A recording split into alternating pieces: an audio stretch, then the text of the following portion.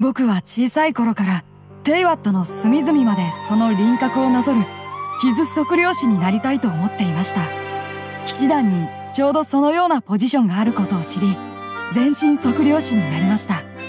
クレイ先輩ですかとても明るい性格でたまに強力な武器の実験をするのでいろんな場所の地図を書き直させられたりもしますけど。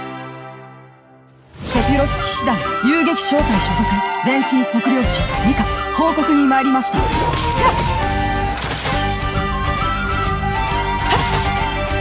せっ立ち去ってください。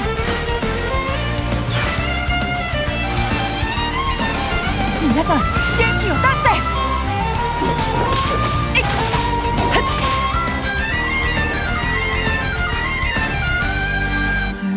雨ですね。地面がぬかるまないといいんですがでないと皆さんのブーツを拭く必要が出てきますし。